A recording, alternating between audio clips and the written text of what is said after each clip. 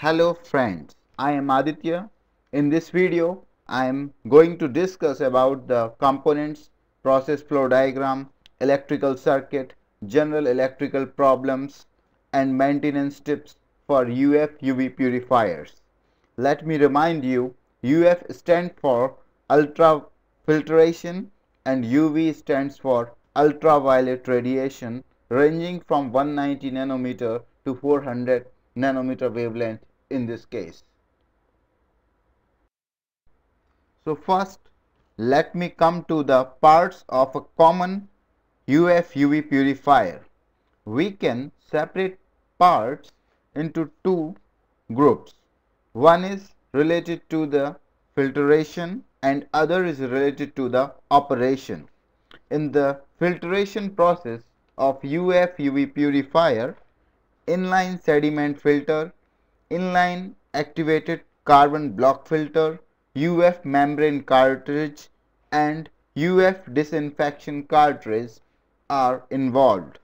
While in electrical operation and storage, there are adapter, float switch, solenoid valve, ultraviolet lamp and storage tanks are involved. Let me discuss the design and operation of the solenoid valve in a purifier. Solenoid valve is an electromechanical device which consists of extended spring, magnetic core, solenoid, rubber valve and a chamber. In a water purifier, normally closed two-way 24 volts DC operated solenoid valve is used to prevent the tank overflow due to the inlet water pressure. Normally closed solenoid valve remains closed till it gets power and water cannot flow. Once it gets power, water flows in the purifier. Generally, solenoid valve is provided after the inline sediment filter. The role of solenoid valve in any electrically operated water filter is to stop the flow of water as soon as the storage tank reaches to its highest level or it gets filled. Float switch cut or stop the 230 volt AC mains supply of the whole purifier as soon as the storage tank completely filled but it does not stop the physical flow of water due to the inlet pressure. Physical flow of water is stopped by the solenoid valve. Float switch is an electromechanical device which consists of a spring, an air bag and a switch. When storage tank fills, air bag of the device exerts a pressure against the spring of switch and cut the main supply. As soon as the mains cuts, solenoid valve close the water flow and ultraviolet lamps turns off. No power consumed by the purifier once tank get filled, which is an ideal situation.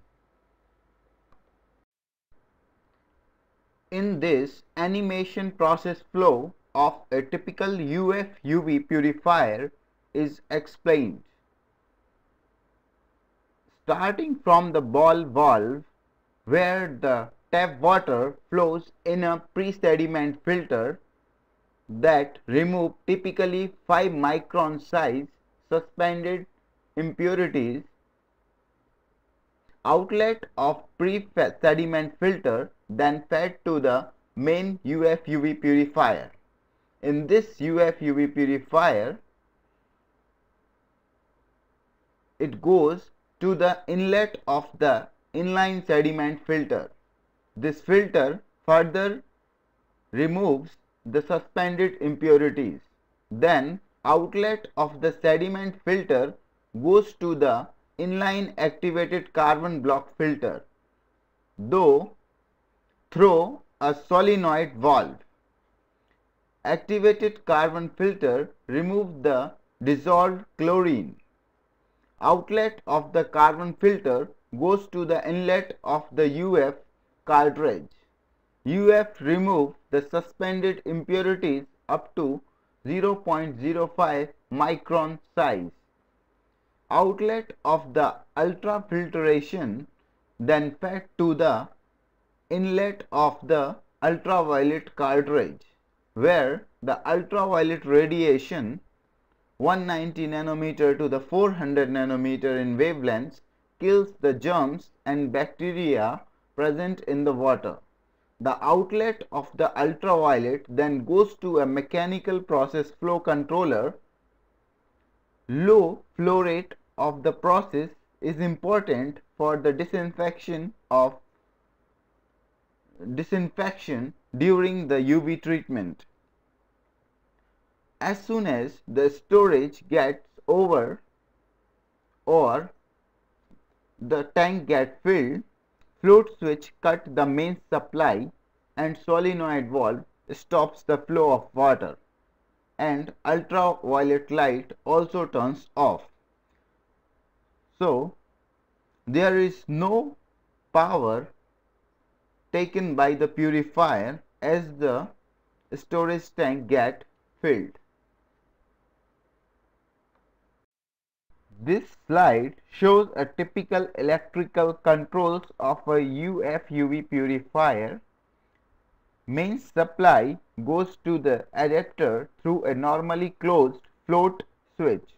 As soon as the tank get over, float switch cut the main supply and solenoid valve stop the flow of water and the ultraviolet light also turns off.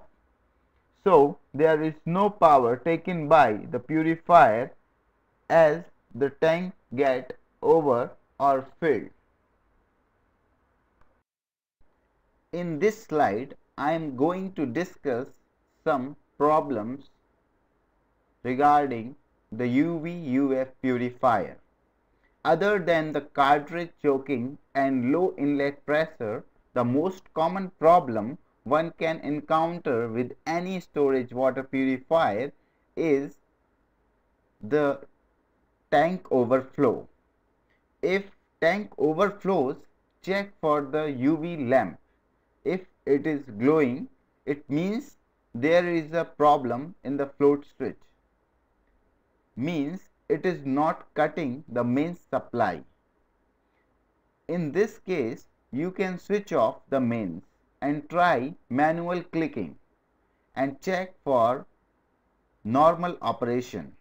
If you are lucky, it might work for you or you have to replace the float switch. In other case, if tank overflows and UV lamp is off, then it is a problem of solenoid valve. You can try to open the solenoid valve and check for any impurity stuck in the operation or just expand the length of the spring.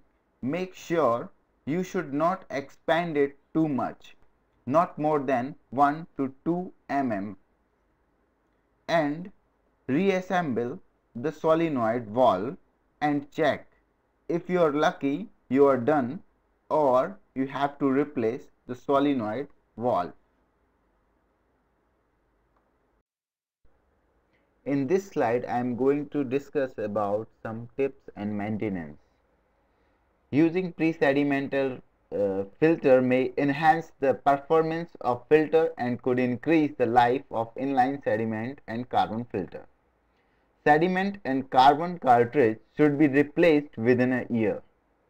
UV lamp should be replaced at least after 12 months. A storage tank of purifier should be drained at least once in a month. Tap of purifier should remain closed after use. Thanks for watching this video. Please subscribe our channel by pressing the bell button below. Thanks. Please share if you like the video.